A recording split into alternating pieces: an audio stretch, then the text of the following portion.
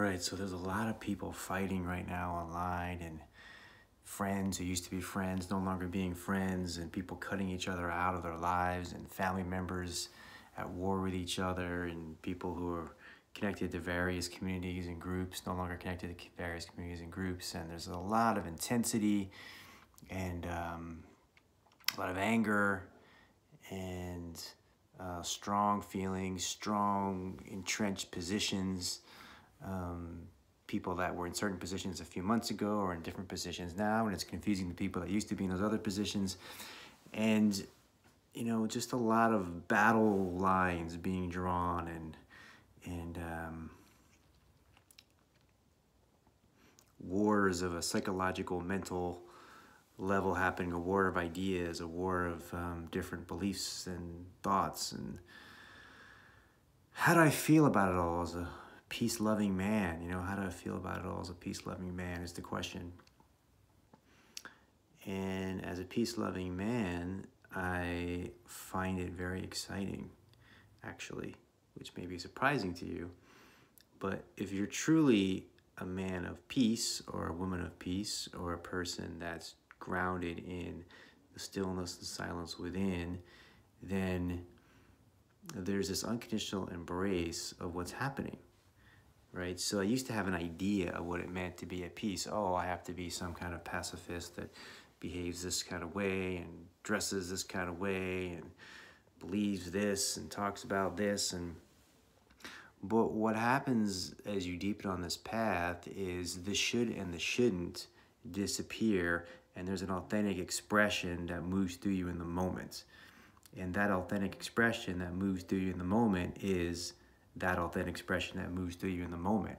And that's all there is to it. So it's just this aliveness to the moment. It's this deep engagement of the moment. And what I see happening right now is people being deeply engaged in life in a way that I've never seen before. People deeply caring about what happens in a way I've never seen before. People um,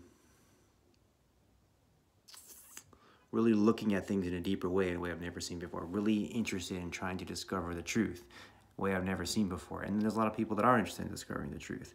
And there's tension between people that are just trying to discover truth and people are not trying to discover the truth and people that have some aspect of the truth and people that have another aspect of the truth and people that are compassionate about these kinds of people but they're not compassionate about those kinds of people and people that are compassionate about those kinds of people but not compassionate about these kinds of people so it's all coming to the surface. We're in a massive time of tremendous transformation, of tremendous revolution. I don't think it's too strong of a word to use.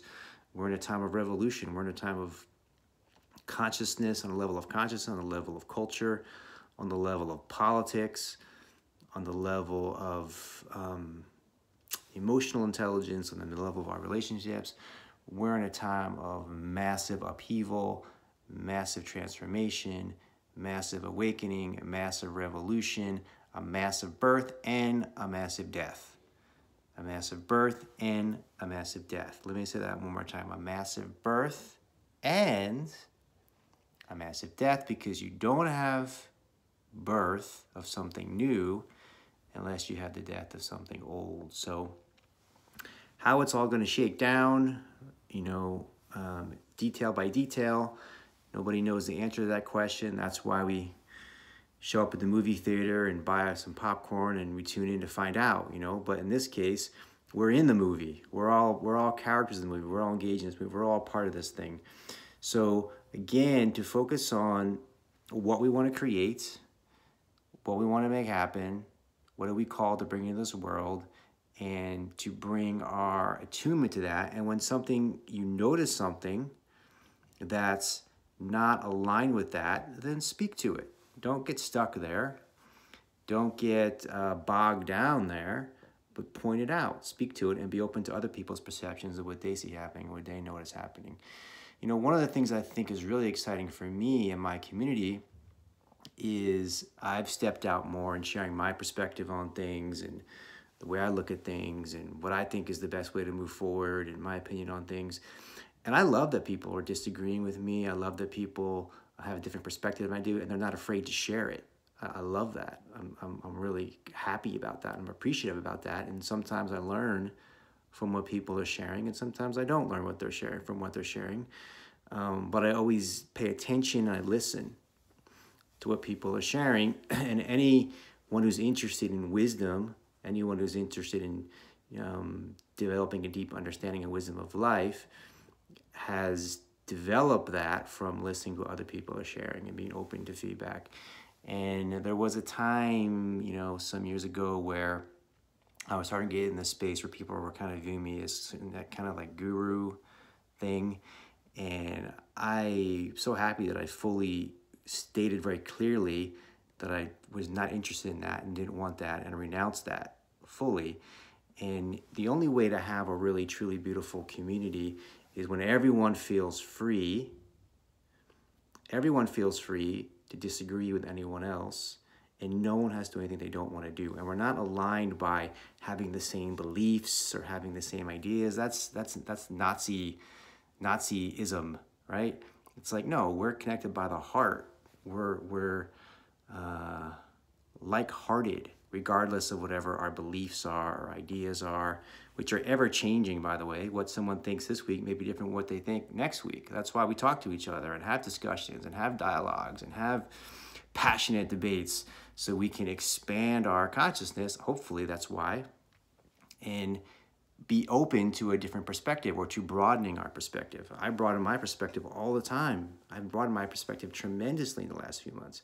So I'm grateful that people have the freedom to disagree with anyone else and no one has to do anything they don't want to do. That's been the key of all of my workshops, all of my retreats all of my relationships, personal or professional, no one has to do anything they don't want to do. That's always the number one level. And that's the kind of world I would like to see. No one has to do anything they don't want to do. Because there's this tension right now between freedom and community, and people have this idea that to have community, you have to give up your personal freedom. No, absolutely 100% no. Nothing could be further from the truth.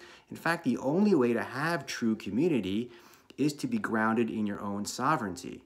That's how you have true community. Otherwise, it becomes some top down authoritarian dictatorship guru nonsense, you know? So we want true community. We want true community in my in our this community that I'm a part of. We want true community globally. At least I do. That's what I that's what I would like to see and that's what I would like to see because that's where I see people really relax uh, be in a space where they can open their hearts, open their minds, and be available to the universal creative intelligence that's able to move through them and share the unique expression of who they are in the world. So keep debating, keep arguing, keep fighting, keep the, the passion, keep the intensity, keep battling, but just know underneath it all, we all care about each other. We all love each other. We're all family, and we're all just trying to find out what the truth is. We're all just trying to get to the bottom of what's real, what's genuine, what's true, and creating a more beautiful world together.